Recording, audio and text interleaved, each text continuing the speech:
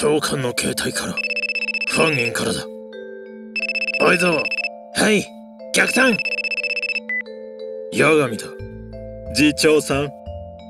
取引はこっちでする。単身ノートを持って。2日後までにとりあえずロスだ。レイクホテルに泊まれ。取引は娘の無事を確認しなければしない。声を聞かせろ。それはできない。できない。ままさか安心しろ。喋れるようにすると舌を噛まれる恐れがある。な何を言っている。こっちは娘の安否を聞いているんだ。それがこっちの取引の条件だ。わかったわかった。またメールで画像を送ってやるよ。左右八神だ。今はまだ何もしていないがこれからのお前の対応次第では娘がどうなるか。な何をするというのだ？そうだな。まずはドキドキ。脱がす。よっしゃじゃなくて娘が脱がされるくらいで。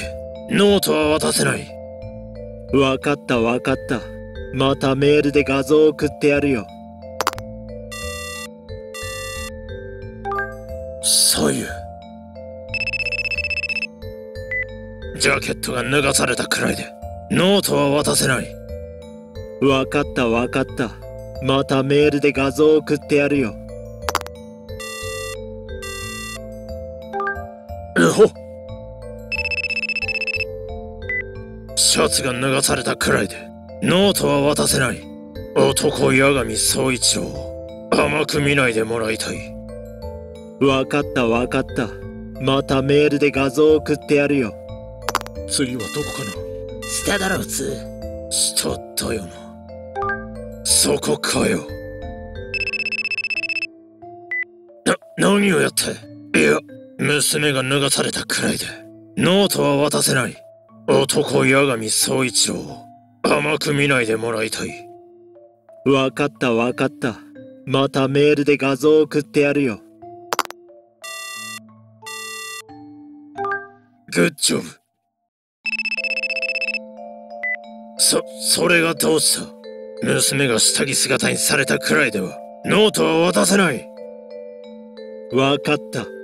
またメールで画像を送ってやるよ。ドキドキが止まらねえよ。服が戻されている。ここから先はノートと交換だ。な、何を言っている。娘の下着姿くらいではノートは渡せないそれがこっちの取引の条件だ。わかったわかった。お前がエロ親父なのはよくわかった。